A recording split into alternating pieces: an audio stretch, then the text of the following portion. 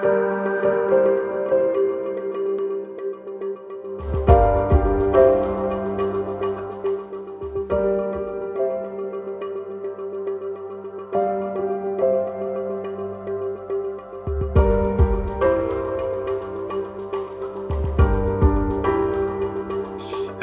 out there in internet land. This is episode two of the Process Projects. This is called Dun dun. Caricatures. Car- car- yeah. Characters. So, uh, for those of you who uh, were following along last time, episode one was a brainstorming session where we revealed the the project, which was a illustrated storybook, and we came up with the. Feel free to backtrack, but we uh, came up with the idea to do a kid robot who's adopted meets a kid monster who's has anger issues and is uh, misunderstood. They sort of befriend each other and help each other through some stuff at school. So the homework was to break out some rough characters, uh, just some thoughts, doodles. Keep it real loose because we're gonna really get into the nitty gritty live. So Carlos, Yep. what were your thoughts about uh, the characters as after after brainstorming the story? What what spun around in your mind? Well, it was cool because uh, part of my um, part of my video that I did, my homework video that I did, uh, I went and I started a Pinterest board and I was breaking things down and explaining to folks how I use Pinterest when it comes to this type of uh, brainstorming and and I talked about how I don't necessarily want to steal these folks' ideas, but I do want to use their characters and their artwork to kind of set the tone and set my brain on the right path. So it got to be a lot of fun for me. Um, and then uh, also, I was using um Mischief as my Mm. brainstorming tool because um, I don't. Uh, I don't really like Photoshop when it comes to trying to figure out characters and stuff, just because I always feel like I have this, uh, I have this set document size, and sometimes the characters just run off the page, and I don't want to have to go up and, you know, uh, make the what you call it the Canvas size bigger. Yeah. whatever. Yeah, there you go. Yeah. Canvas size, uh, bigger. So that's why I use uh, Mischief, and I'm able to, you know, use that whole infinite zoom thing, and it's completely cool. yeah. Uh, yeah. Other than that, you know, uh, I invited you to be a part of the Pinterest page, and then you got in there and you started sharing some of the uh, some of the artwork and stuff, which is really neat because we did have a couple of duplicates, which means that uh, those same drawings and those same characters initiated the same thoughts in both of our brains, which makes for a good time.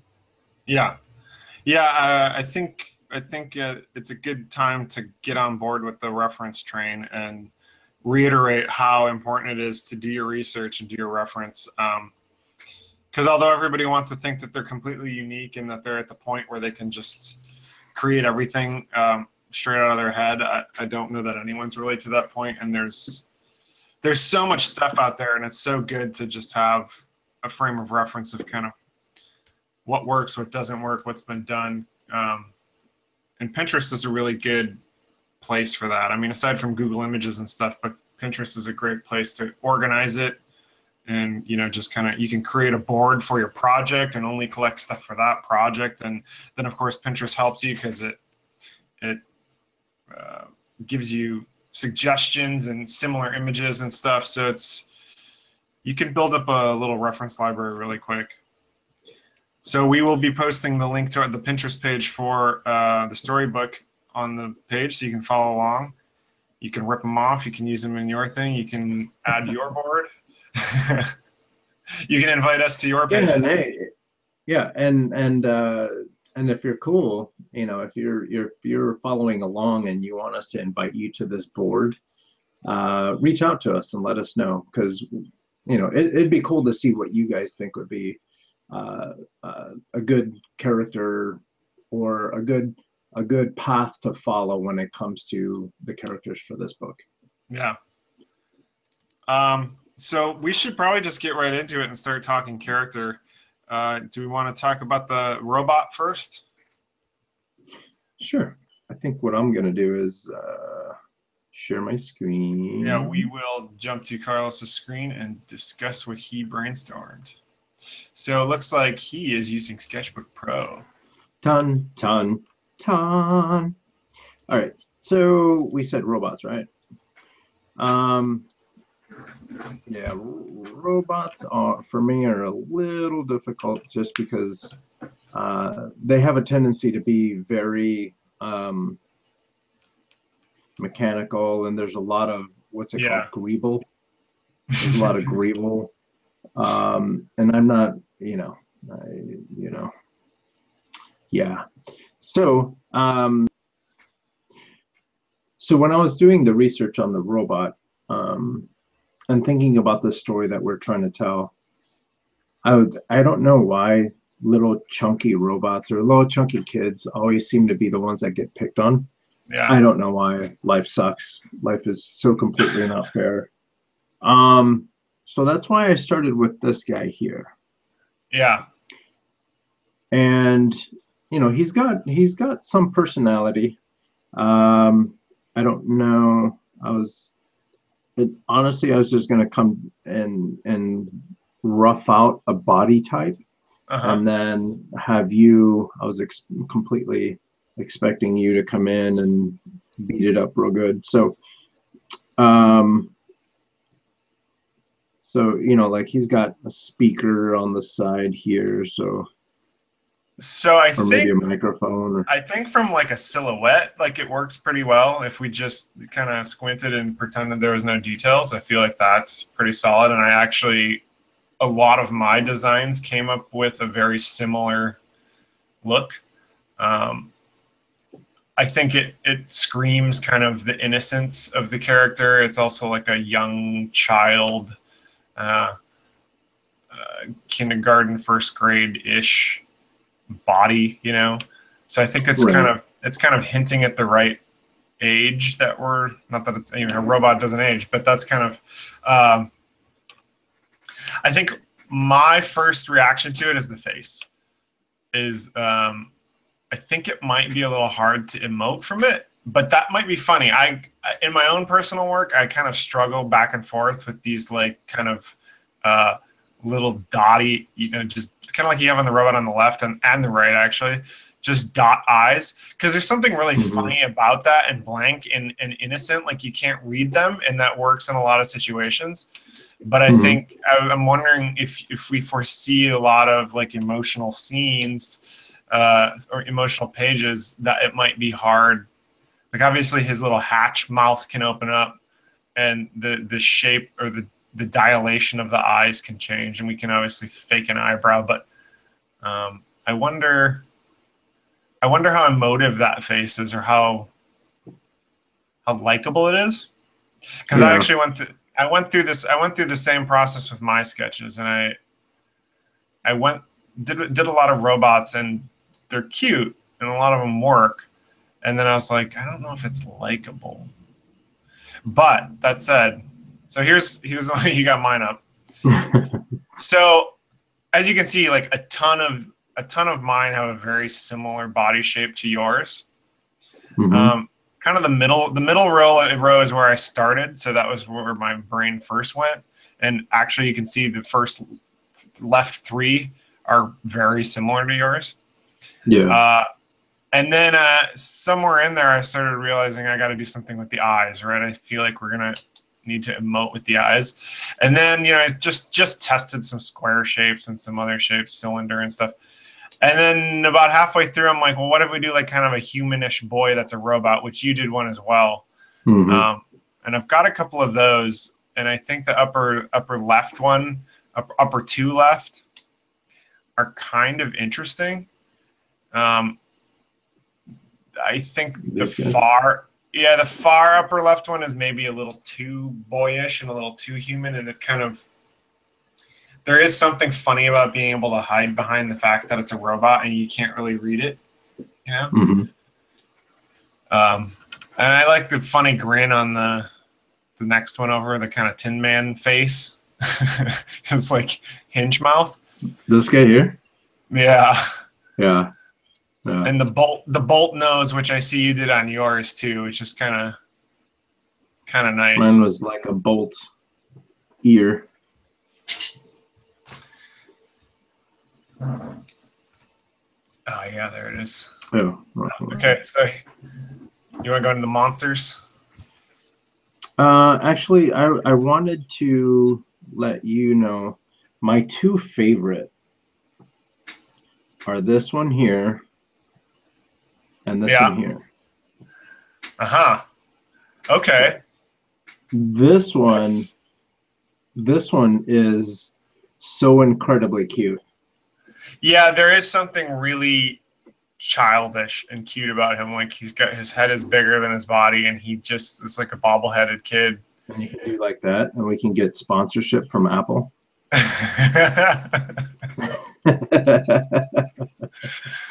yep. But no, I mean this guy here. I mean he is so cute. Uh, you almost feel bad that he may or may not be getting picked on. Right. Right. Which I think is important. I think we do want a character that that uh, not only do you empathize with, but I think you want to feel bad for him a little bit until you realize that he needs to just change his behavior. Like you can't always. And I could also, you know, the whole thing about him shutting. We talked about he shuts down and he returns home like a Roomba. Like it could, I could picture that being pretty funny with him because he's got such a big head. It'll like fall forward and just kind of be like down. Um, but Yeah. anyway, talk about the talk about the wheel one, This guy one. here, the other one you chose. or no, this guy here. I like him because his eyes are so expressive. Yeah, Um, yeah, and we can do. When I first saw him, the first thing I thought was it'd be hilarious to like have a goldfish in there, and then the goldfish just kind of swims back and forth inside his head. just around in circles. That's what his brain Yeah. operates off of. Yeah, Yeah, they're very glassy.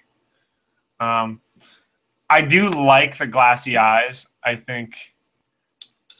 I think I'd rather go that route just because yeah, I feel like we're headed down some kind of expressive paths and we're exploring anger and innocence and all sorts of stuff. So it may be a little can- tough. We can give them like a little pocket protector, you know.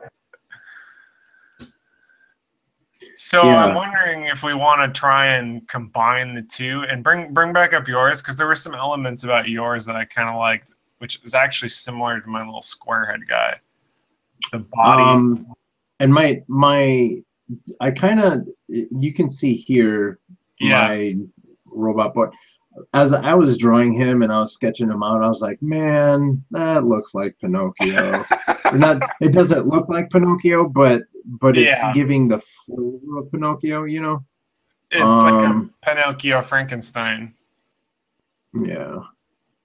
But yeah, your little chubby guy that has a, a body that's uh, like if you took that head and just scaled it up by one and a half or one one point seven five, I think that might immediately make him not only cuter but like kind of young and innocent. I mean, he already. Yeah, there we go. yeah, see, it's kind of like. That's awesome. I didn't even think about that. Look at that. That's hilarious. All right, so I'm gonna do this.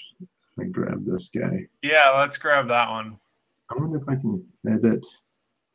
Okay. I don't know why I can't just copy and paste, but um,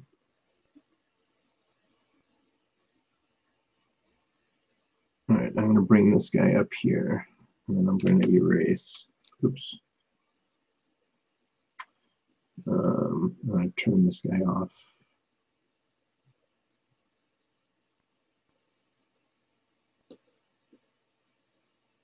You can't be showing right now. All right.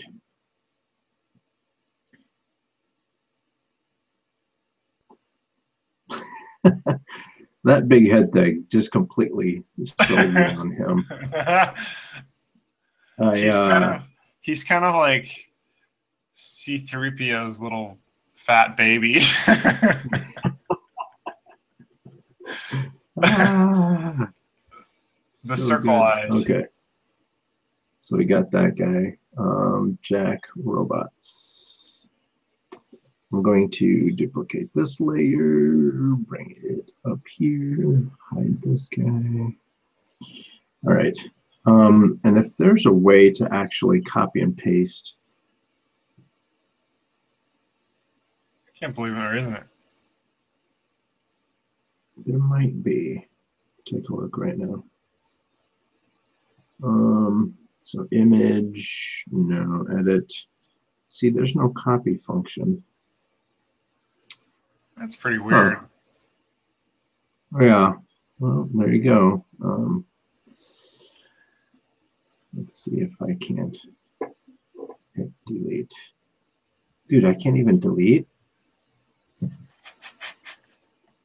Sketchbook Pro has got to get that together. You have got to. All right, so for this, I'm just gonna do like that.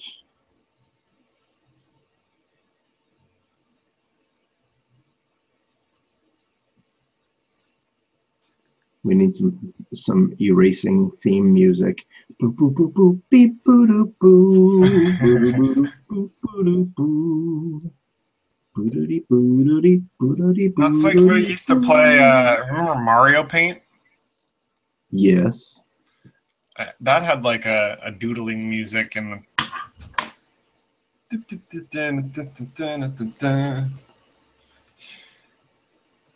So, what do we think about wheels while you're working?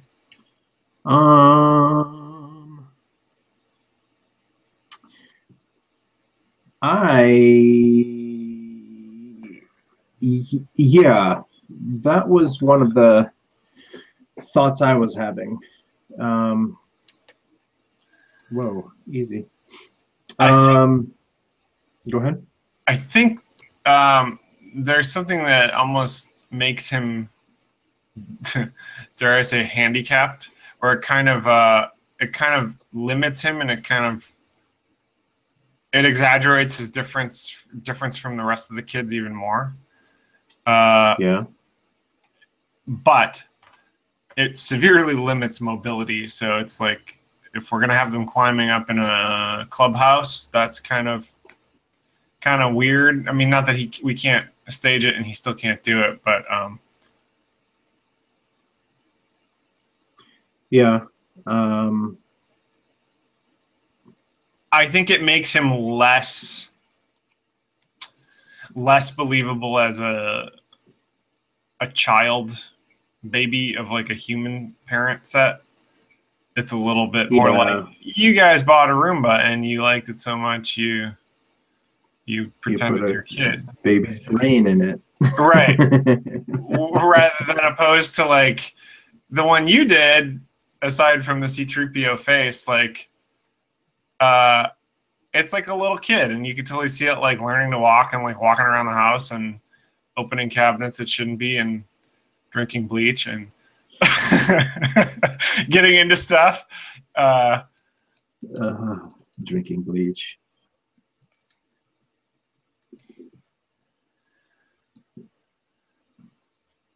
yeah, so there's a lot of similarities between these three, which is really interesting. Yeah. Um, the stature obviously is the most obvious. It's kind of a short, bobble-headed kid with, uh, and even the ones you know, obviously wheels are limited, but even the two that have legs, they're very short and kind of cumbersome. Like watching that move animated, I think would actually be. I could imagine it actually as an animated thing because they're so clumsy looking. I'm gonna ch- I'm gonna start to uh, Yeah, I'm gonna start to combine some of these ideas. yeah, So like um, the one thing that I do like about mine is it kind it kind of looks like he's got these little overalls, you know. yeah. No, I noticed that, and I I really like that. It's like a little kid's outfit. Yeah. It's like hinting at, at human human people, but not actually being it. Which I could also see added to the middle one. Yeah, totally. I mean, right now it looks like he's got a diaper on. I think that's a little too too young for what we're going for. I oiled myself. Um, so the one- the one thing yours does not have is a, is hands and fingers. Do we? Yeah. Need, do you think we need posable, uh, posable pieces? Phalanges. It would it would help while playing. See, and now he's a different character now. Like, you know, that's funny how quickly that. Now he looks like Mario, who put on a robot head. Suddenly, Mario's like uh, Mario's robot cap. You know that he finds in the Mario dressed up like C3PO for uh, Halloween. Yeah, it's Mario's Halloween costume. That's funny. I don't think the hands work on him. So the other thing I was doing were little claws, little C-shaped claws.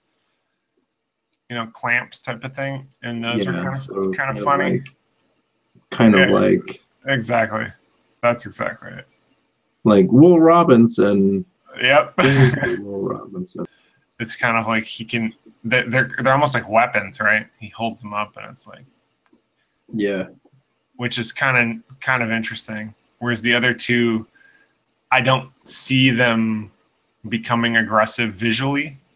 But now the other thing I remember we talked about is the potential, of the idea that the robot can expand, kind of like the monster. He can grow. So I, th- I like the idea of these hatches that you've drawn uh, that can like pop out and sort of, you know, like I could see, I could see that hatch on his head almost flaring. Like maybe if he had another one on either, rather than the speaker, he had like another one wrapping around or something. So it's almost like they flare out like that Jurassic Park dinosaur. Um, I'm one. I'm, I'm just trying to think of ways like to physically expand him. I mean, obviously, he could just pop up his body. His center body piece could pop up, and there could be springs under there that that extend his legs, and he can just be a bigger thing. Yeah. Um, like these might be um so right now i'm kind of bringing this part into that guy right Yeah, so he would have these crazy legs these are obviously some kind of piping or whatever and we all we only god knows what's happening under here well, that's good. We can we can hide a lot of stuff. Having a so so kind of him let's say in in the So if we- pose he might he might be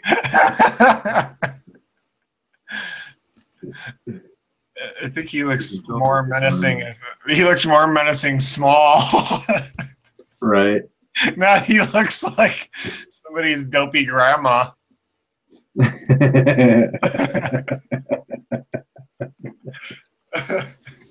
Ah, So curious if we took out the C3PO eyes and put in the the fishbowl glass eyes. I wonder let's see if that would be like a perfect combination. I think I don't like the antenna. Every time I've seen it, it works okay on the left guy, but on my other guys, and then when I saw you just draw draw it, I I, I don't know. It seems very all right so let's hit the plus sign here so then you said so do something so. If we put the fishbowl type of emotive eyes, all right if since we this is a copy those- i'm able to yeah.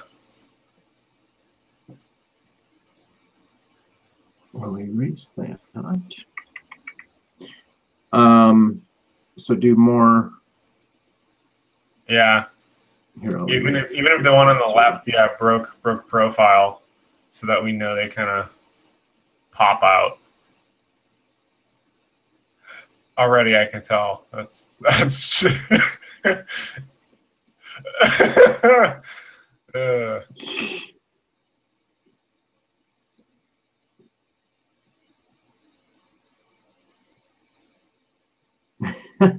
it does bring a lot more personality to his face.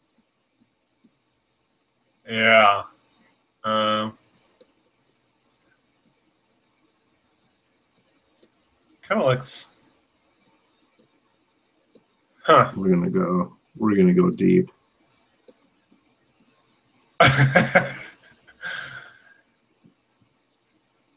but that's that's the struggle. That's the thing i brought up at the very beginning is like I, there's something i like about uh, masked or mysterious eyes that you don't really know what's going like blank eyes. There is Yeah. kind of something something innocent and yet mysterious about it that they're just kind of because now he now he it's almost like he's got an expression on his face. He looks scared almost? Like he's like whoa i'm looking at you. Or like really intense. And i'm wondering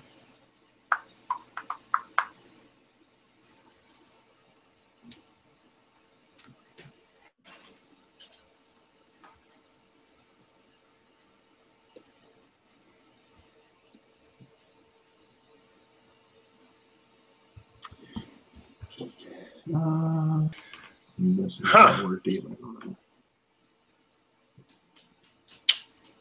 i don't know i think i like the original ones better what do you think Um, can we I don't know. I, I, I'm digging. I'm digging the glass eyeballs. let's just try real quick doing the left ones with an expression like maybe sad or uh, I, you, I saw you quickly doodle the angry one but let's do like a a sad or some sort of furrowed brows so we can sort of see how that mechanism would work Uh, all right. Let's see.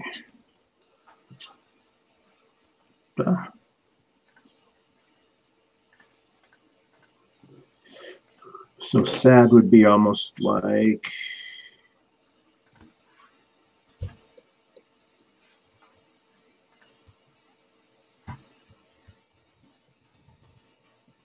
Let's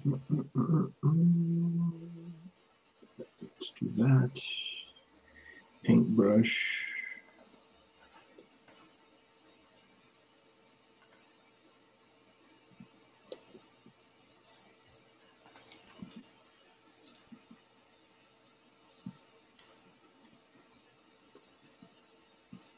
because like what are the what's the core of this character it's like he's a he's sheltered and he's he's got hover helicopter parents he's super innocent He doesn't Wow. really know how to.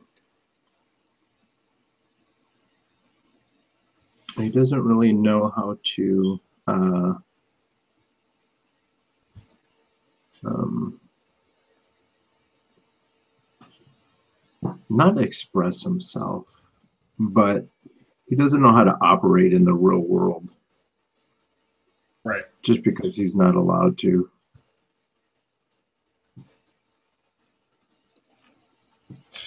like that works pretty well actually. Um he still kind of has this distant oh he he cries what oil? Yes.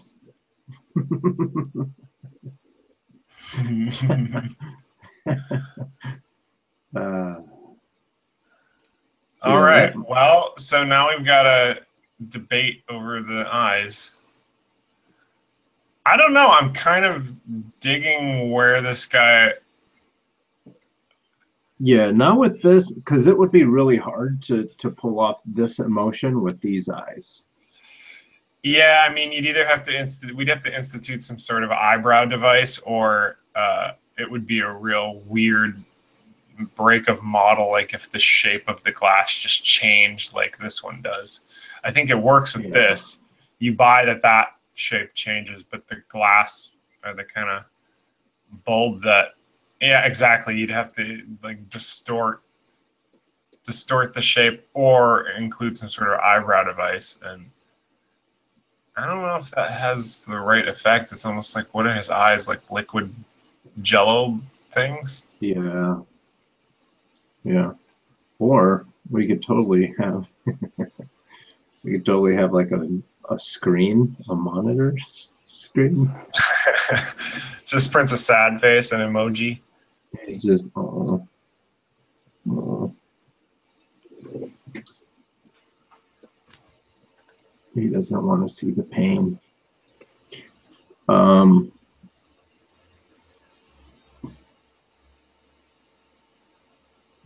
Yeah, I so really, that. I really dig the shape of this character. Like I, I'm gonna, I'm gonna switch to mine, and we're gonna. I just want to Okay.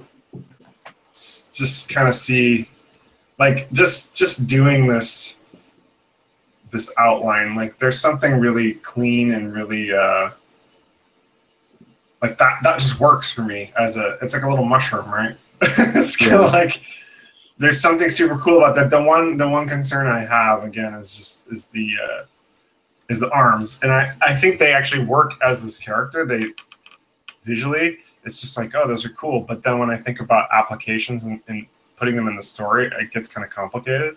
So i'm wondering if maybe um you know we have one of these systems where we're you know something could something be- they come out or he's got he's got the like uh the kitchen beater in there you know like yeah, yeah, like I mean, it could be it could be one of those situations where he has a bunch of those little uh, utensils or apparatus or whatever inside that little container, and then whatever he needs, he just like sucks it up, and then out comes the next device that he's using or the next.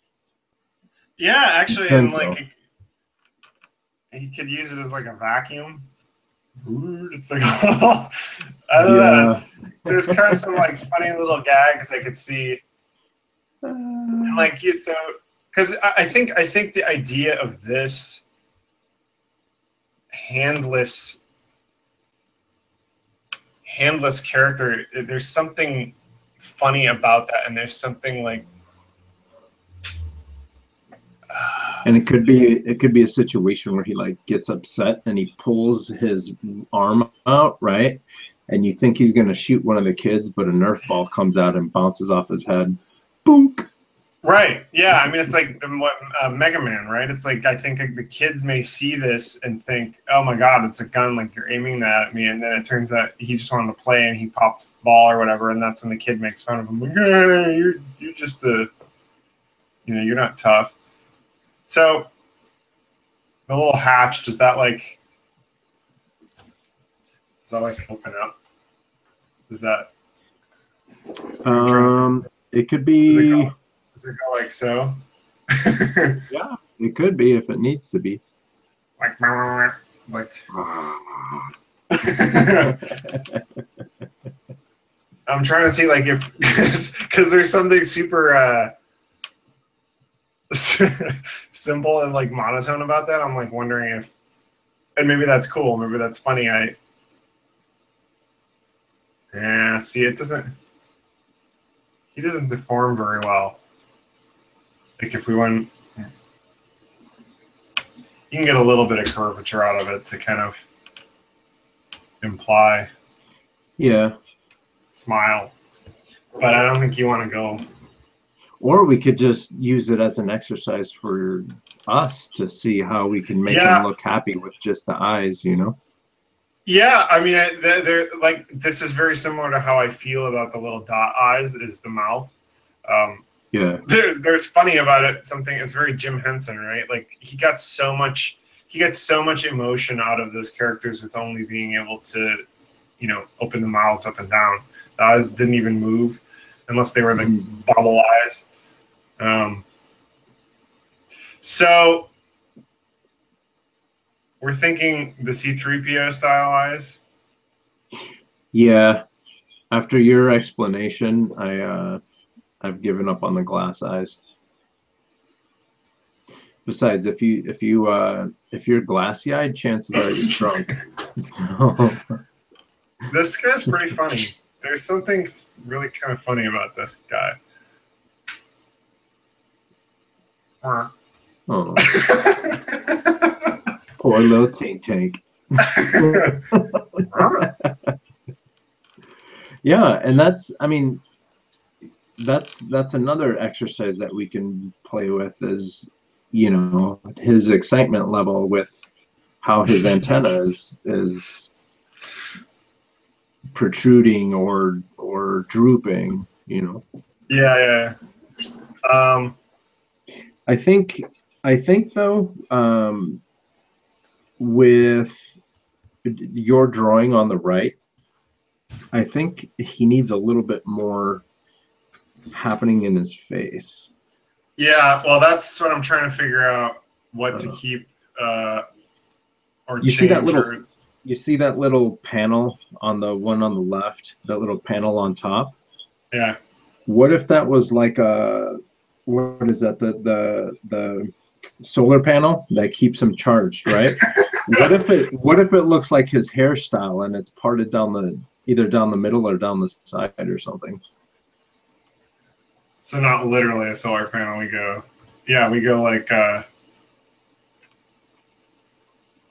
that makes him look like a little girl which could also work well, it could be. and the antenna the antenna is a ponytail yeah. Well, I suppose then then we have to take in the implications of what it means to have a, a little girl uh, hanging around with a beastly monster and you know anything that anything that happens to this character in the story. If it, yeah, it does make him look like a girl, or uh, it's like one of those weird like Victorian. It's like it's like just add a bow tie, and he's like a little. he's like a little Victorian man, you know, uh, steam, steampunk boy. Uh, I like the idea, and I think something like that would have to be pulled off in the color phase, you know, in detailing, yeah because clearly, just this doodle sketch is kind of like, what the hell is that? It looks kind of. um, I don't know. I kind of like almost dig what you just. Ha- you sometimes like then gut ideas is the best. Like I kind of like uh, what you have here, but just back to the C-3PO eyes, and yeah Probably, probably not the little happy face on the side or screw or whatever that. That's oh, it's a plug. It's a plug. It's a plug we can we could we could put a plug on his back, or uh, But we can put a we can put ear. a process Oh, hey! we can put a process project sticker on him. Yeah, USB USB port. Um, so I was kind of thinking. Let's see if we could go pu- pull up your screen again and go back to the one you had where, uh, yeah, that guy. So if we add the add back in the antenna because I like that and the little the little split down the middle of the face. He's starting to look like Darth Vader a little bit. Yeah, a little bit. Because I think the antenna itself actually has some emotion in it, which I, I like. I, yeah, I Ten agree. minutes ago, I said I didn't like an antenna, and now I like it. And that's why we have discussions because we could totally do something like this, right? he looks like an old man, George Costanza robot. he just has it on the side. He's bald already. right. I, I kind of like the shape you have. I wonder if that just is something that um, is indicated as some sort of solar panel in, in the coloring phase kind of detail. Yeah. It's pretty funny. I kind of like this guy. I think we should uh, we should put a pin in this and develop it with some color treatments and detail. Um, so now the interesting part is pairing him with a monster. Cool. Um, okay, so I'm going to hide all of these. That was a lot of fun for me. Um, and then I'm going to turn on your monsters. So I pretty much exclusively went with the idea that he should be furry. I don't, I don't know that it's required, uh, but there's just something about it. I guess I like the contrast since the other character's metal and slick, that the other guy should be fluffy. And I also think it's kind of uh, there's a lot of natural animals that uh, are terrifying, but also fluffy and cute at the same time. You know, like bears and Yeah. and even lions to some degree, and you get these char- creatures that are. Or there's that you know there's those dogs that like have the hair that grows over their face. So Yeah. like this guy up here. yeah, I mean he's kind of like a yeti. Like this guy right there. yeah, and then, again, He reminds the- me. He reminds me of that uh, the old cartoons. Uh, it was a dog. Was he the one that said, "Which way did he go, George"? I don't know. oh yeah, yeah, Either yeah. way. The, Either way. one of the- oh, the- uh, yeah, that's that's uh, morning George, morning Ralph. Yeah, that was a dog Yeah. that was the dog that was sort of had the air the hair over his face and couldn't really. Yeah. Uh, and then there's Uh, uh, what was the? I have one in there that looks really s- similar to the big red guy from from Warner Brothers, Mortimer, I think. Uh, this one here. what was that character's name? Yeah, that's a little similar to that. So I don't know if I want to go down that route, but Which is Yeah, funny because I have one that looks kind of where Gossamer, that's his Oh, name. Gossamer. Yeah, I'm gonna move your monsters. Come on, dude. I'm gonna move your monsters. Dude, you're killing me. Uh, and my monsters. Um, I have. It kind of looks like this one. right, for me. right. Uh, no, I don't do this. Yeah, the only thing is mine has worm arms. Yeah.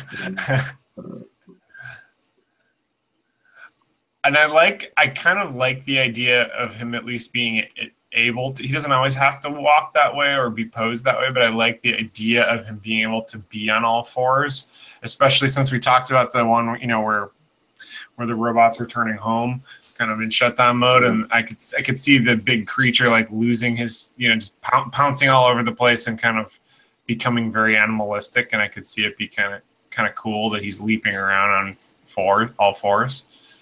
Um, Yeah. That said, most of these could could go on all fours. Yeah, totally.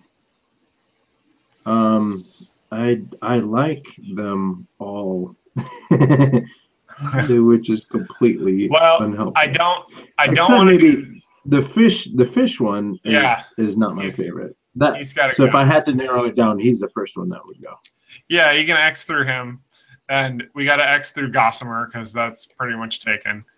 And I don't- Yeah. and I don't particularly like the one uh, top middle that kind of looks like a Maurice Sendak Yeti yak. It's just Yeah. kind of that one or the one right next to it to the right. Uh-huh. Yeah, I don't particularly like those. They're very like yak, like This one, this Um, one, it's it's uh it's funny Yeah, in a cool way. It's funny in a cool way that his horn looks like he got his ear pierced. Like he's that much of a bad boy. He goes to like second grade with his ear pierced, and he's wearing a hoop.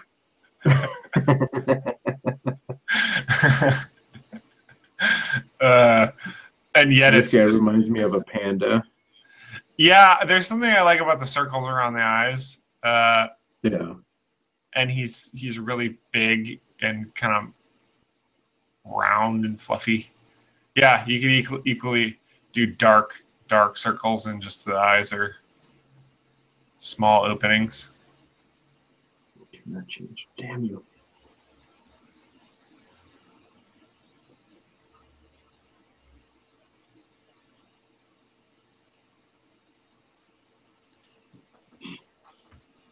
Because pandas kind of look like they should be able to eat people, but they just don't care. They're like, Right, right. mm,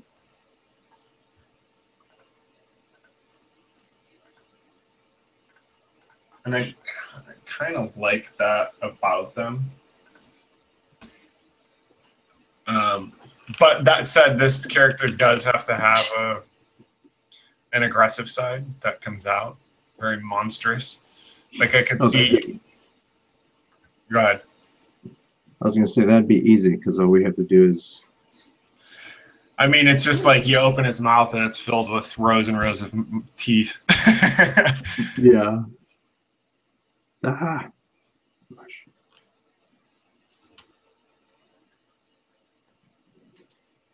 And just be like.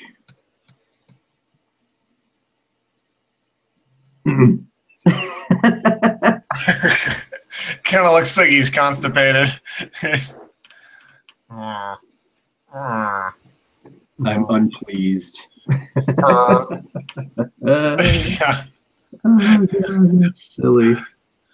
Rather than a, why'd you do that? Why'd you let him walk all over you, kid? That's uh, I disapprove of your behavior, and I'm going back to hibernate.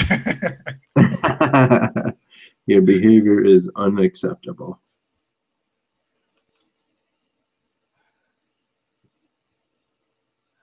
Yeah, he could be panda-ish even in color, or a two-tone.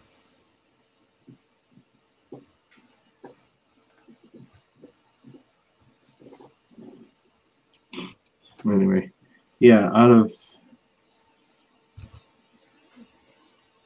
I'm kind of digging that guy. Just because he's big and fluffy and. Uh, yeah. All right, so let's take a look at these guys. Um, so we already said no to Mortimer. Oh yeah, Gossamer is a little. Gossamer, that's right. Uh, and the snake guy, I just he doesn't he doesn't seem monstrous. He doesn't seem like a a big understand bully. And uh, the one I could and this doesn't count. right right if he didn't if he didn't have a smirk on his face, I could see the one on the upper left. Is that a fanny pack? Yeah, well, it's like no wonder, kid. Like you're not getting made fun of because you're a monster. It's because you wear a fanny pack. I mean, his All owl right, eyebrows are pretty spectacular too. uh, all right, hang on. Let's do this. Let's get my colors up here. Okay, that didn't help at all. There you go.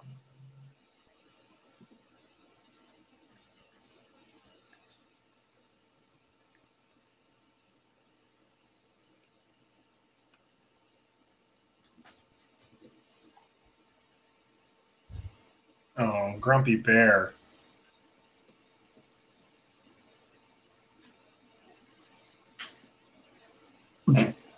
Yeah, now he's angry.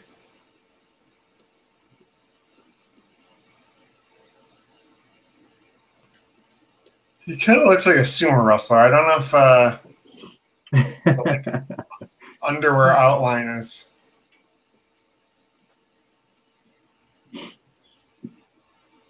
Yeah, I added the fanny pack because I figured if you're going to get picked on, a fanny pack is a good reason.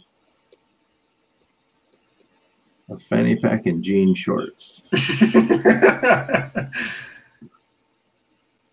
yeah, I mean, What are you thinking, kid? yeah, otherwise, that was actually my favorite one of my group.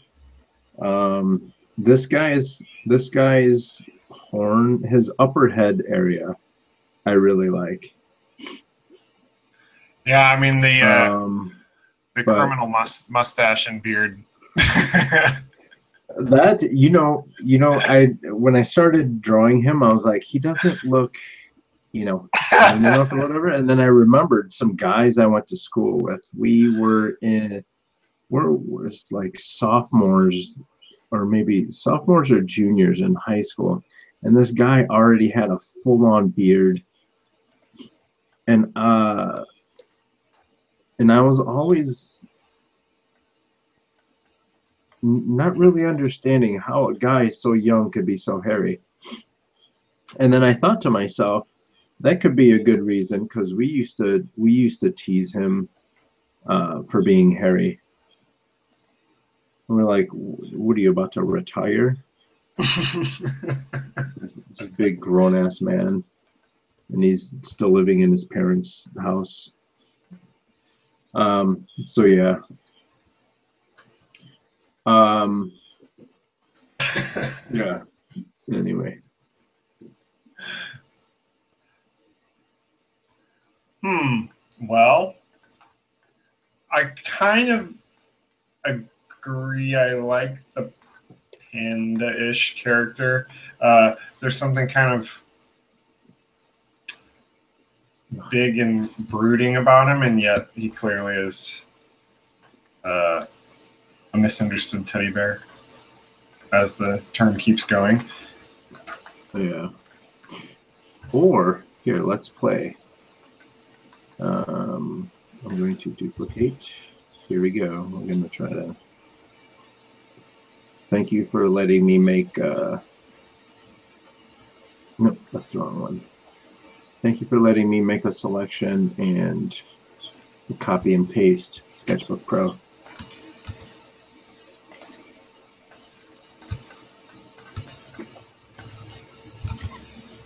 Um, I want to.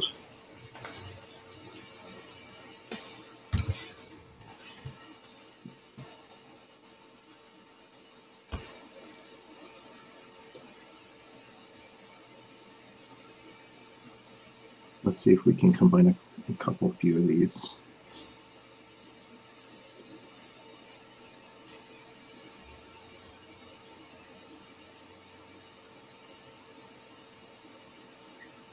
Okay, so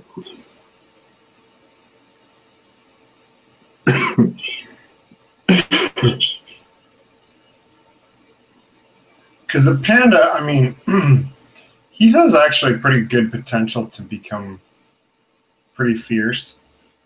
yeah, Um, uh, yeah, it looks like he's got a body big enough and a head big enough to support a pretty like massive, massive jaw. And uh, the arms are.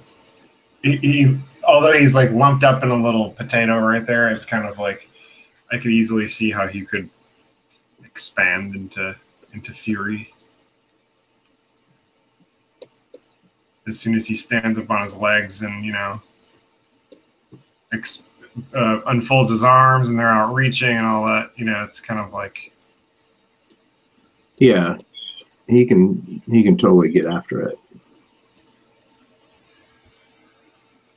I'm just wanting to see. Okay, why is this taking so long? so like if i did you know if we did something like Are you sharing? yeah Okay.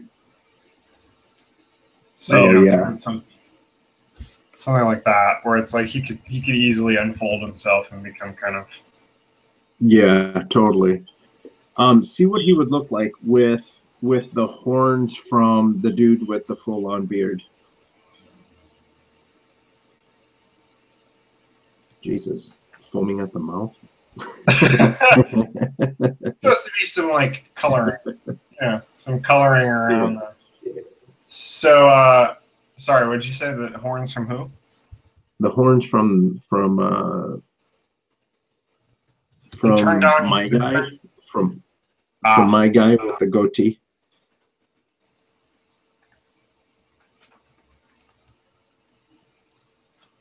And maybe maybe he just has these little tiny horns, but then when he gets angry, these horns just come out. ah, and he just gets completely scary. I mean, the ones you kind of had were just like that, but we could.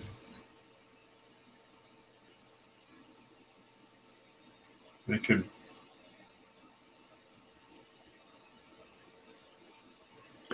Yeah, he looks like an amazing angry dude right now. Like those could. The horns could just like grow. You know. ah. Yeah.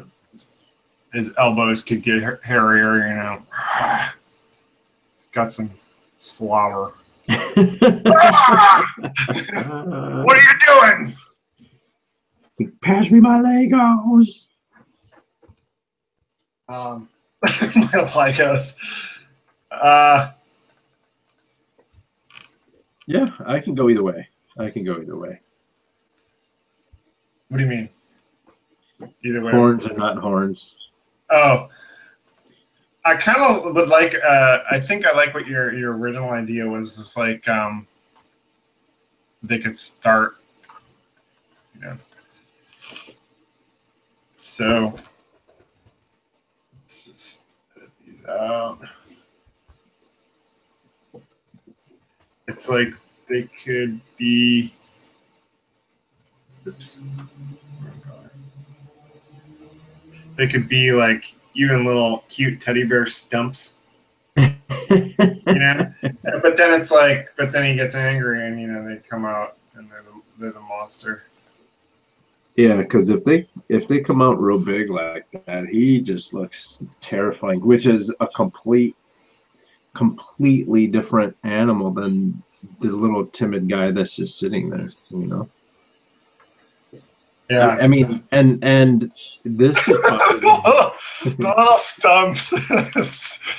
Those are gonna be cute on him when he's you know when he's just sitting here as a this little guy.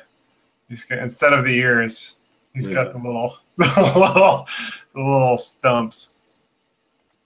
So yeah, we can go back to you now. no, Yeah, that's it. That's it. No, that Um, was that was my idea. I like it. Cool.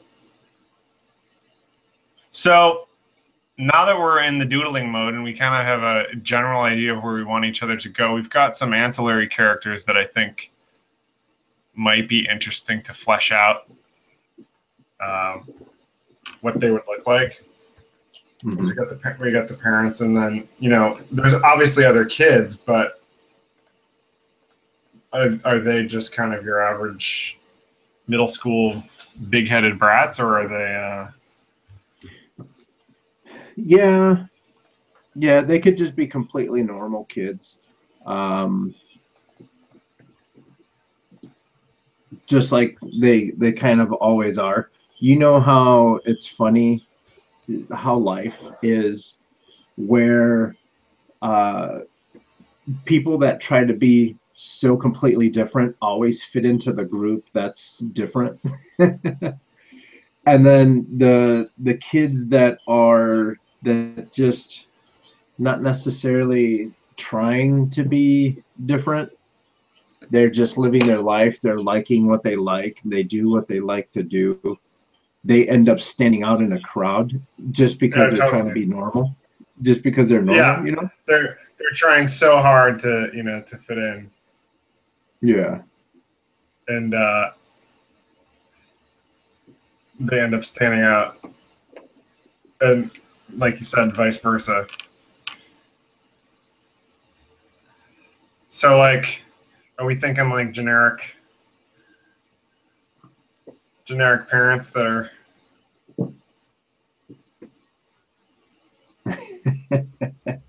yeah. That's oh that makes her look like a grandma. She's kind of the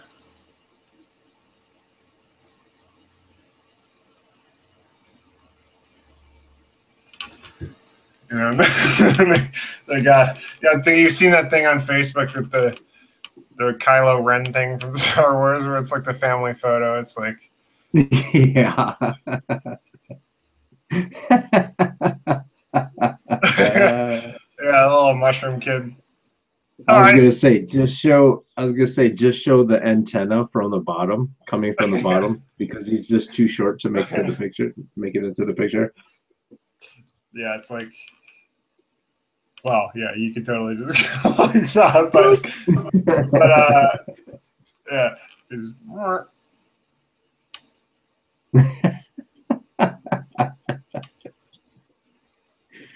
Oh my god, that's funny. so we could do brown parents. We could do. We could do green Yeah. parents. We could do. Uh, Oh, actually, yeah, that's that's uh that's an interesting. We could we could make them be, I don't know, just just just dark enough to not be like oh you know uh, they always have to be white parents, but then we can make them light enough to where they have good credit. the, the oh man. Um, yeah, I see what you did there.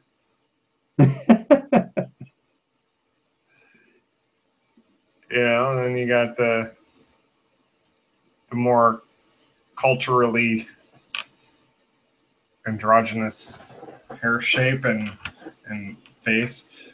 Uh, or we can do who was it? Wasn't it uh, Tom and Jerry who never showed? yeah, you just. I, and I always found something kind of funny about that. It was Mhm. like you really focused on that it's a children's world, and the, the, Yeah. the parents are, and that actually could work to our benefit in this because you know, obviously it's mostly kids, but you know, even even with the big, even with the big panda.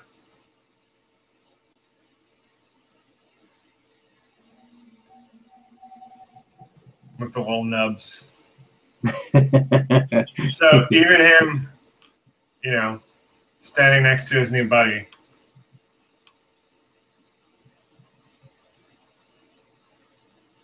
Uh like that's that's like a clear dynamic and interaction. So it's like, you know,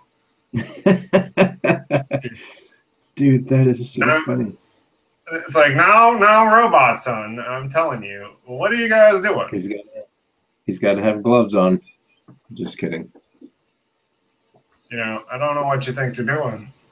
Go to your You room. busted up your room, you big dummy. or it's you know but then and then on the flip side i think the other thing that i want to consider is uh is the monster parents because you know it's like how much do we actually see them and if we're You're starting. You're starting to get robot voice.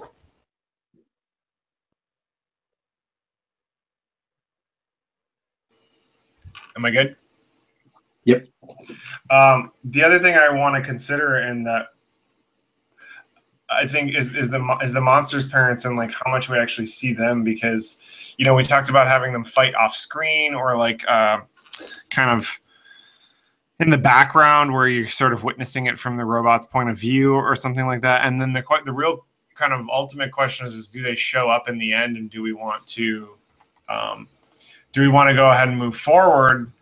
Do we want to move forward with the idea that that the kids are uh, that the monster is some sort of like figment of of the robot's imagination or can sort of imply that? And i think if we have the monster parents perhaps never actually show up at the at the climax at the end that could sort of leave things open and it also reinforces who they are as parents like that's kind of the way he is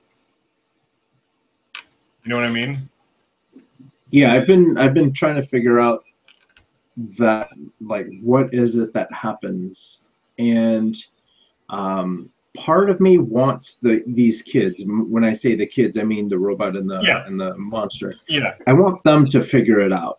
Yeah. I think that's kind of the similar thought I had is I think I think after they get into a fight and they end up hurting each other, I think in a way, that's kind of a realization to both of them that it didn't have to go that far, and that they both, you know, took their personality traits too far and then it's kind of like it's kind of it's kind of like the the human parents show up more as uh just kind of the final closure thing like oh are you okay and it's kind of like um that's when we can sort of reveal that they sh- it was good that they let him figure it out on their well they didn't let him but it was good that he figured it out on his own right and then he ran away and then he kind of took a step away from his parents. So I, I, I don't necessarily have a problem with the fact that they show up, but I don't know that you want it to be like they show up and that's what causes the resolution. Yeah. Uh, Um, I was, my brain went back to Fight Club. So let's say there's this big, uh, this big, uh, what's the what's the word I'm looking for? The this big fight that's about to happen, and the robot goes to swing, but then he like punches him in the fa- punches himself in the face. King and then he wakes up and he's like and you know the monster is gone and everything. So it's like this big reveal that happens when when uh when you think fight club. Uh that's dumb. I just needed to get that thought on that in my head.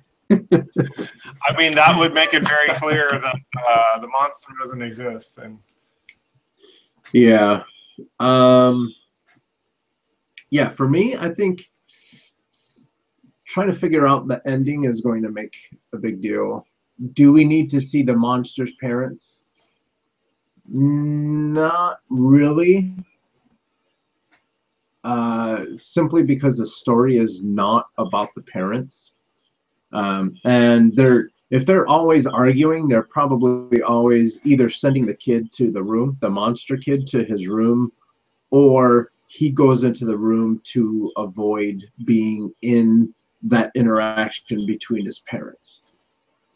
Um, you know, kids whose parents always fight generally like to stay out of it. They like to stay in their room where it's safe.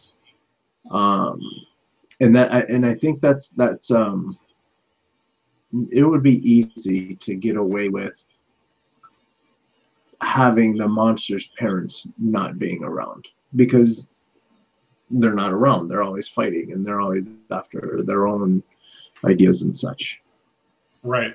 And that's kind of that's kind of the thought that I had that that it's it's nice to introduce them in the in the portion where we see their house and their uh their environment and kind of what where the monster came from but it's kind of like i don't i don't really know what what benefit they bring to the resolution. Because it's it, it seems weird that they would just show up and change who they are right? There, nothing has happened to them that like this seems like pretty regular behavior around the monster household. Right. Um so yeah i kind of think hmm. and if we wanted to go super deep with this um, the monster's parents are the actual struggle between uh, the thoughts that the robot is having, right? And and the manifestation of those is the monster. Does that make sense? So uh, the, the thoughts the thoughts that that uh, the robot is struggling with and fighting with himself. Yeah. Um, you know, that is the the the monster's parents. You know, am I good? Am I bad? Am I this? Am I that? Am I real? Am I fake? Am I a boy? Am I a robot? That's true. Um, all that, of those thoughts, true. the representation of those thoughts are the the the monster's parents. So if we think about it like that, then you know no one can really see your thoughts until you put them down on paper. The way he puts he quote unquote puts his thoughts on paper, he he manifests this this uh, uh, monster. right? And then if we want to go into the the natural world of monsters, you have a mom and dad monster, and they make a baby monster, and there you go. So all of that is just all of that is just to to reiterate saying the thoughts are the monster's parents who are in this constant struggle with each other. Yeah. They're trying to figure out am I a robot? Am I a boy?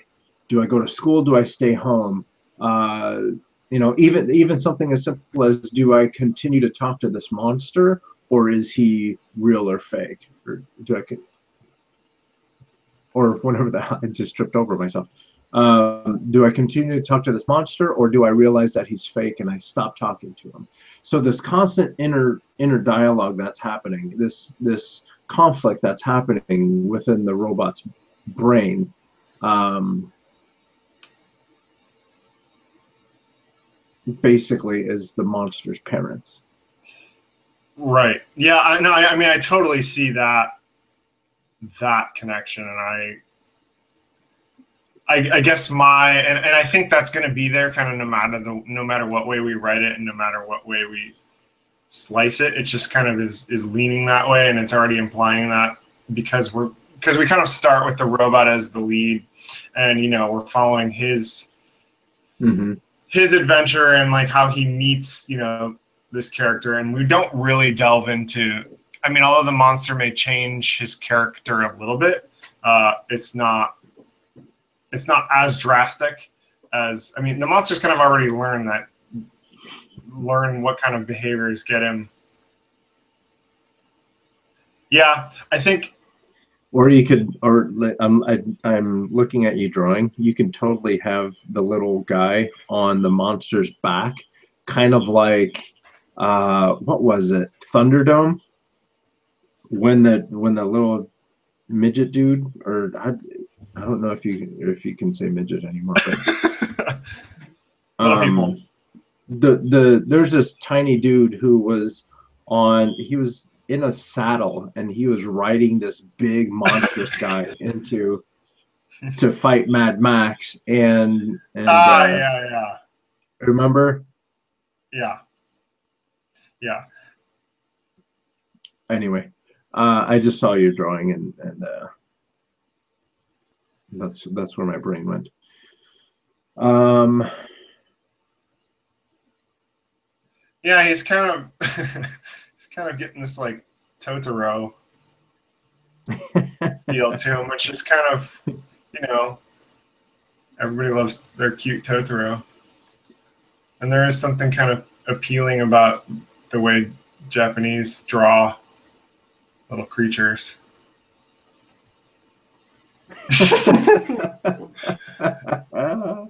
That's awesome. um, yeah, I think I think I think what you were getting at was was spot on. I think I I think that the monster's parents are really more of just um an amplification of who the monster is, and then, like you said, furthermore, kind of a reflection of what he's dealing with with his parents. And although his parents have never been abusive to him and never been, you know, neglectful per se, uh, it's still his thoughts about being an adopted robot and you know what these parents really mean to me and what have what have I learned to them and, and when when do I step away from my parents and it's kind of it's exactly like you said it's it is totally symbolic of of his inner conflict so I don't think we need to, we definitely don't need to introduce them again at the end. I guess the, the question is, is do do we get any of the parents involved at the end? Um, or is it something these two kind of resolve on their own? Like, man, I, I hurt you. That's not cool. And they kind of walk off to the sunset together, or they're you know, um, I, I just, I, I still feel like it's, it may be missing missing its like little final step that's like yeah. Yeah we we hurt each yeah we hurt each other and yeah i'm sorry and yeah we both pushed our pushed it too far but it's kind of like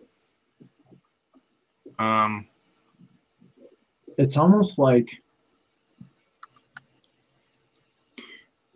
it needs to be where they're um their anger gets them into a situation that they need to get out of. And then when they figure out that they can work together, Yeah. uh, that's when they find that that balance that people need, right? Yeah. So would it be something like Stand by Me, where they find a dead body in the in the woods? Um, is it something where like one of them goes to run off and he runs away and the other one chases after him and you know there's this bridge that they fall through kind of thing? Um, th- that's where it becomes um,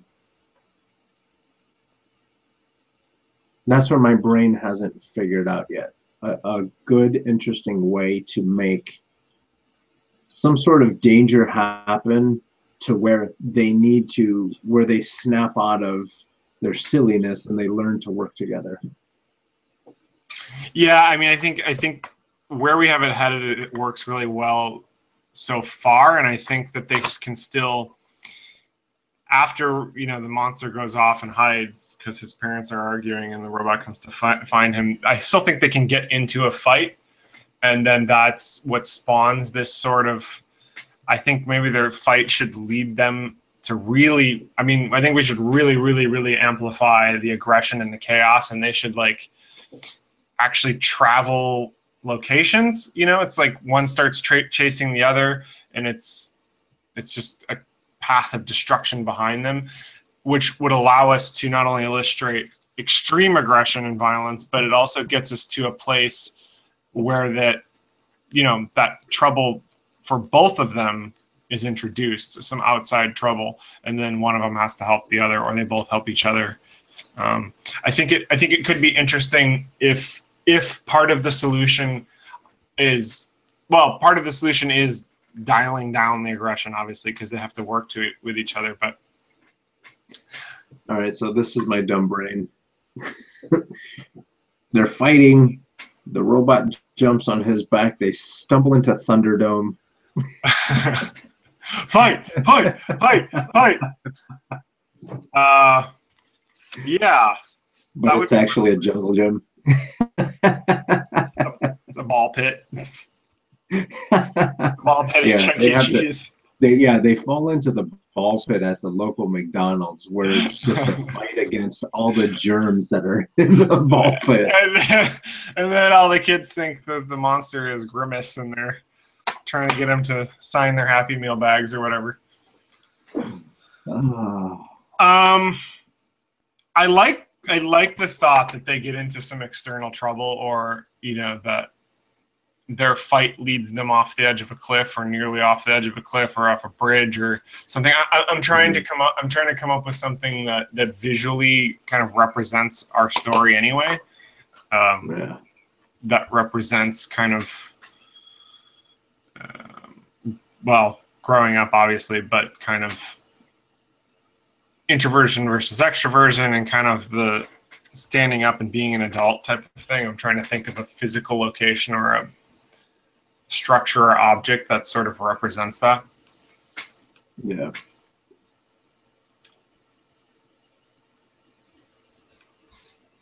Um, we're close though I know we got stuck on this last time, but I think it's, I think, well, we've weeded out the fact that we don't need the parents involved, which I think is probably smart. And I think it's a little, it's a tidier ending. yeah And I mean, it, it, because if, if the robot is dealing with overbearing parents, it doesn't make sense to have the parents save the day again. right, right. Um, that said, the the ending is a little bit about balance, right? So perhaps it's, uh, I mean, in a way, not only are we talking about introversion versus extroversion, we're talking about freedom versus you know supervision or security. So I think, I think some of it could be that he ventures like part of this aggression in his fight with the monster is is an exploration of his own freedom and really letting loose and just kind of breaking every rule. So I think we could, because we want to kind of end with a balance rather than the opposite. It could be something that the monster can save the robot, um, and that he has to allow him to save it, but it has to be on his terms. You know what I mean? It has to be. Um, a bridge is, of Or- course. Go ahead. or the robot has to help the monster because the robot needs to find his independence. uh, and stop being the the greedy service taker from his parents and provide a service for others. Yeah. like a good little robot slave. Um yeah that could be that could be interesting. He could just totally lose it. Like that actually would be a great series of images these two fighting and how big the monster is compared to him. And yet i think the robot the robot is sort of winning because he's really just unleashing. And Yeah. he ends up the you know the monster falls off a bridge or a cliff or something and that suddenly snaps in like oh my god i'm about to kill my best friend my only friend. Hmm and then so it's up to him to to save to save his friend. I mean that's kind of a nice a nice ending. Uh, i'm just i still would love love for it to be something visual that represents i mean a bridge of course is always poetic right? You know it's connecting of two different sides it's traversing over a chasm and all that stuff but it might also be a little cliche. Yeah. uh, I'm wondering if we want to return to the schoolyard and kind of have something in the lunchroom or the school that kind of Or, I mean, it would be, it would be kind of funny and almost a tip of the cap to, to Mad Max, where, where they do go into the jungle gym, and that's where the struggle is happening.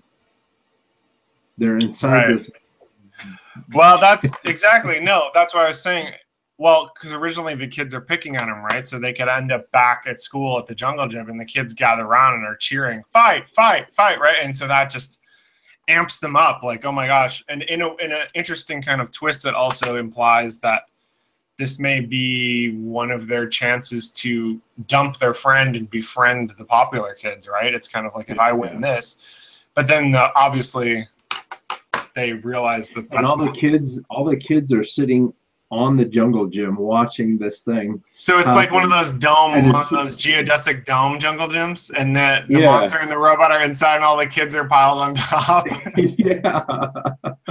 That's kind of Yeah, cool. Like and that. then and then like maybe the, maybe the robot or one of them is trying to get out i don't know which one yet one of them is trying to get out so they're trying to climb to the top and that's where instead of falling off of a bridge that's where it's going to happen where one of them is about to fall off the top of the jungle gym make sense Yeah, I'm. I'm trying to picture one of those geodesic dome jungle gyms. Is it really tall enough to warrant that much fear, though? Yeah, yeah, especially when you're a kid. I remember people fell off that damn thing, and it was not. I mean, it's one of those big monkey bar ones, um, where it's like, what was it, 10, 15 feet high? I mean, it? we can of course always exaggerate it for the for the purpose of the story. I'm just trying to Yeah. think of. I guess because of how big we're kind of drawing the monster, it seems weird if.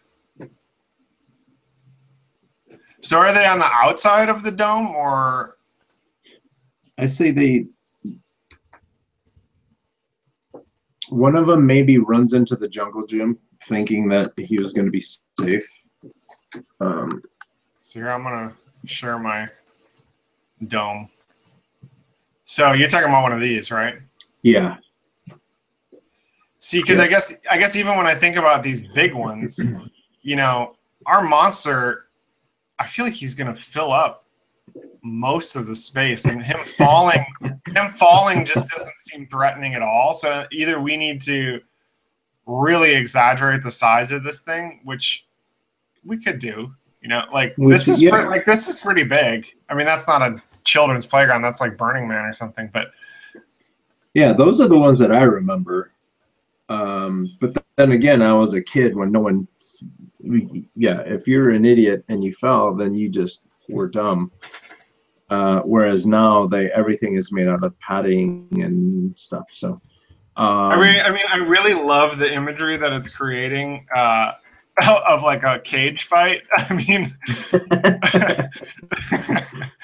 and and it it immediately asks for all of the kids to gather around and you know spectate Yeah. over the, the two. Really, I mean, it's just kind of the robot fi- figuring himself out uh, metaphorically and thematically, but.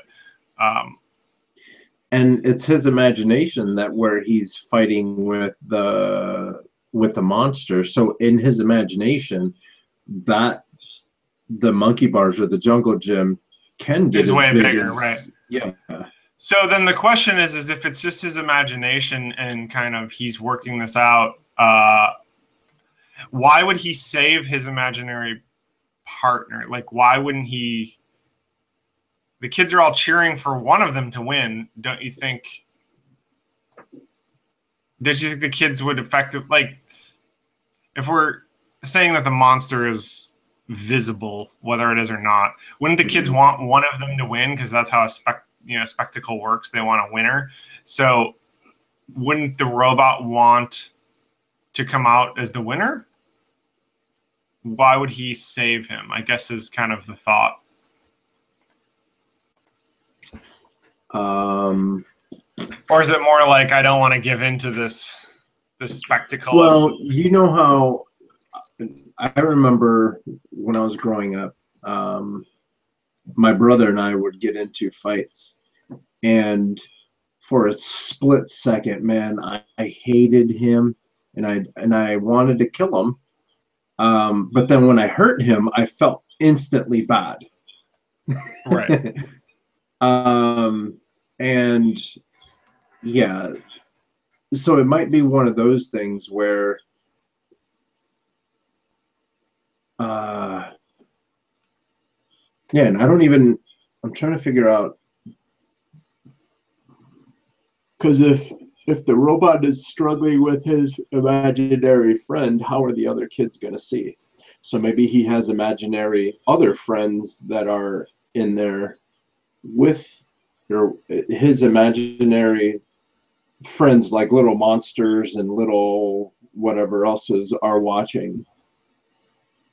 Um and then maybe maybe the maybe the monster does fall and maybe the monster does get hurt and that's when the robot realizes that whoa you know that's my guy my buddy is hurt and that's not cool Yeah, I mean, I don't know how much explanation it really does need. I mean, it's kind of like your your buddy gets hurt, you immediately feel bad, and you're like, "What were we doing?" Yeah. Uh,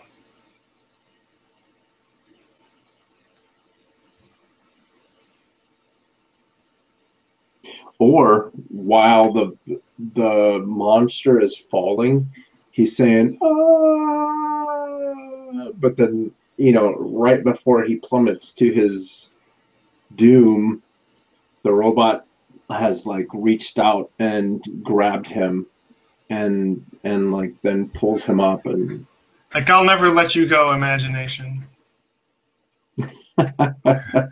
yeah i mean Kind what, what I mean- was it there's a there's a uh, uh sylvester stallone movie called uh cliffhanger i think it is where there's this rope and he's trying to save this lady's life and he gets her just in the nick of time but her hand is sweating and he doesn't have the energy to pull her up. She don't let go. But then she like like her glove is still in his hand type of thing. Um and then she plummets to her death and and uh yeah. She plummets to her death. that's And all the and all the bad little children are cheering him on. Yeah. Kill him, kill him. Yay! Five! yeah, all these bloodthirsty children. I mean, Oh, kind of. kind of. It's like, ha! Someone's getting hurt, right? Um, obviously, we're not going to do the Iron Man laser beam, but um, I saw that. I was like, yes, the Predator three, three laser sighting thing. Right no, I mean that's pretty solid. I like. I really like the cage fight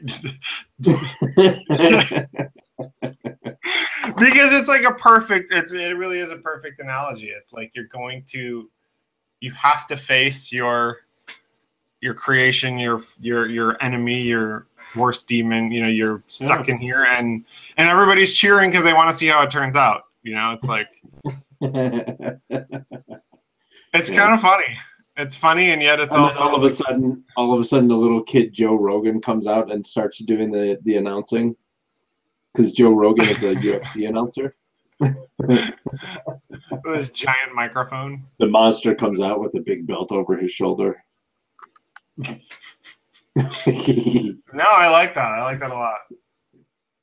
Um, cool. Well, is it time for homework?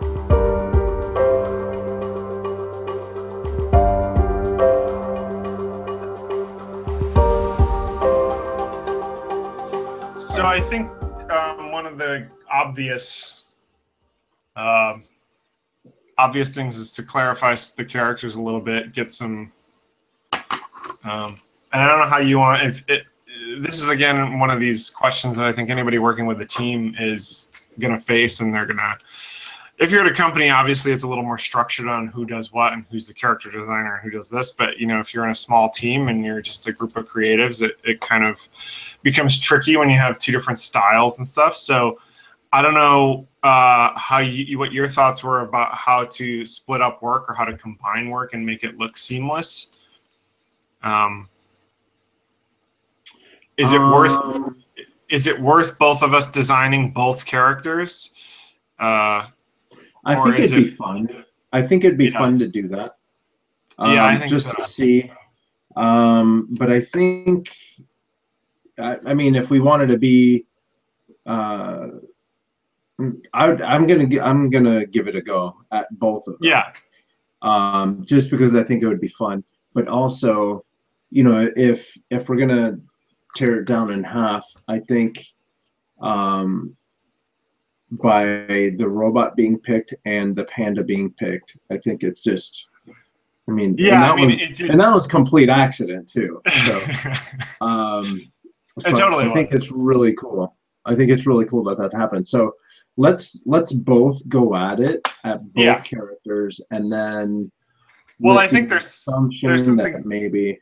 Go there's ahead. totally something to be learned i think by seeing someone else design your character or your vision and i think we can there's a lot to be gained from that uh, i mean kind of how we how kind of how we what we gained from this first round kind of we've learned things that we did similarly we would learn things that didn't didn't work from each of ours so it will be interesting to see how each of us kind of come up with each character but Mhm. yeah, I mean, I, I think it is kind of funny that we happen to pick one from each side.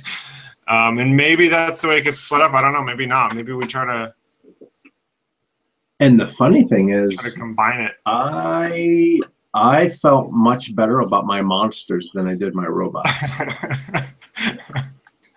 and I, am not gonna lie, I'm not just saying this for the podcast. I totally loved some of my robots and felt good about it, and was like, I mean, the monsters are fine, but the, the idea is just kind of evolved. You know, it's like you saw because that was the but that was the other thing is that I liked some of my robots, but wasn't wild about my monsters. But even though, as much as I liked the robots, I couldn't see I couldn't see them pairing together. I couldn't see Uh. any of the monsters I designed with any of the robots. I was like, oh man, I hope he comes up with something because Because I don't know, I, I can't come up with something that kind of works together. You had you had a lot more characters than I did, and that's what I was saying to myself. Uh, God, I hope he comes up with something. so, um, but yeah, I mean, it goes to show you how, because I didn't really like the robot that we picked until we I didn't the either. head bigger. I didn't either. Like, I, you first showed it to me, I was like, he's cute and he's funny, but I don't think he fits this role. And then, like, the more we messed with it and talked about it, I was like, oh, it's totally this kid. I see it. Goes to show you, anytime you're struggling with a uh, an art Yeah. piece, folks at home, make the head bigger. well, and twice on the same character, I was like, he's got to have hands. I don't like the stub hands. And then I went went back. I was like, no, I like the stub hands. And I was like, I don't like the antenna. I, the antennas are weird. And then it's like, ah, I love the antenna. uh, so good. so I think we should both do like full character treatments. You know, full color treatment, thoughts, kind of like a. It could still be loose and sketchy, but I think it should essentially be like a complete thought. Spoiler Um, alert: the monster is going to have a fanny pack. Just- on, one, on one of my renders, he's gonna have a fanny pack. I can totally see that. I can totally see him rocking a fanny pack. That big old dude with the. That's funny. It's like Hulk Hogan always walked around with one. And Yeah. Uh, do we want All to add so- anything in terms of uh, sets, environments, or ex, you know extra characters, or do we want to really solidify these guys out and then build build the cast later?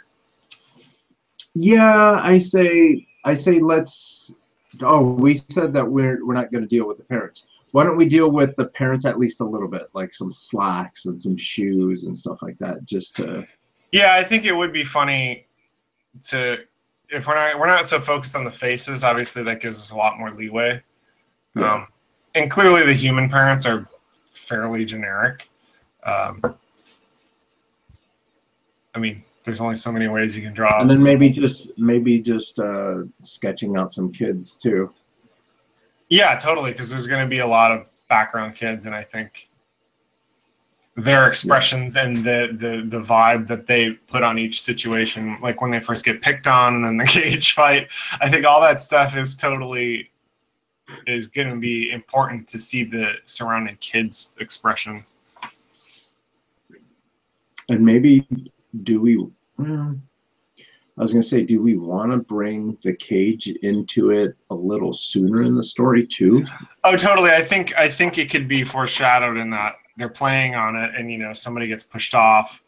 Maybe maybe that's how the robot first gets. He, he's climbing out, it, having a good old time, like this is fun, and then one of the other kids kicks him off, like I'm the king of the mountain, and that's when the monster monster steps in and is like, "What are you doing to my buddy?" And Or maybe they have maybe they have recess and they're Yeah. messing around and and the kid gets invited into and, and by invited I mean forced to go into the death match.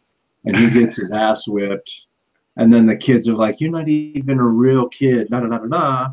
And then now it's lunchtime and he's the robot goes to have lunch and no one likes him because he just got a beat down. Um so Maybe. then that's when he goes and he sits at the table and that's when he meets the monster because i really like i really like the idea of him being so completely lonely and he meets the Yeah. monster there That's true. Um, yeah, maybe maybe yeah. He he goes out to play by himself. He thinks it's fun to go play on the the jungle gym, and that's when he kind of gets either beat up or kicked off, or yeah that would be a good time to to foreshadow and kind of you know it's the place where where kings are made.